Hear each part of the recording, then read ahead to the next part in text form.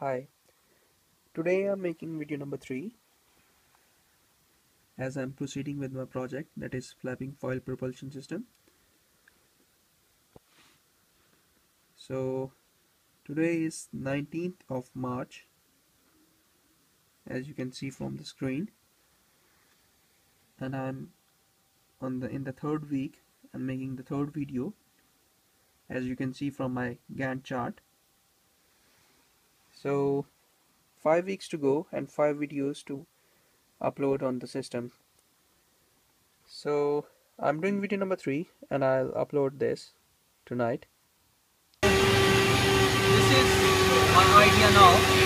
I've improved, improved it a bit I've added another leg so this is movable. I will adjust this as I want. If I'll move it here. It will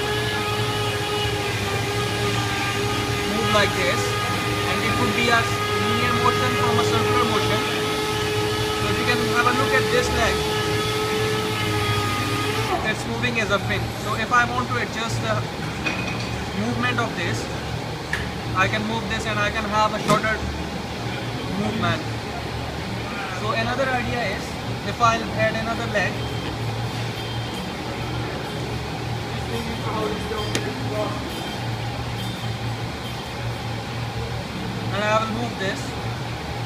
So I can have this thing moving like this. So I think I will go with this. Just a single leg. So I can have a simpler motion. I, I don't want to I don't want a complicated thing. So this is how it should work.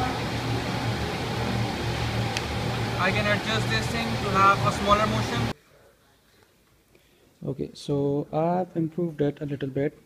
What I've done is I've made a simpler design and I've added two nuts and bolts over here and I have made three holes. So as you will move down the movement will be shorter and I have added a fin. So if you'll move like this you have a smoother motion and as you will move these things down the angle of movement will be shorter.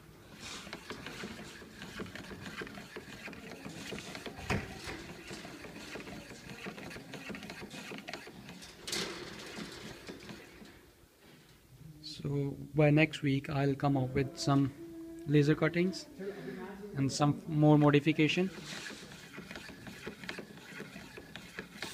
Thank you very much for now. See you next week. Thanks.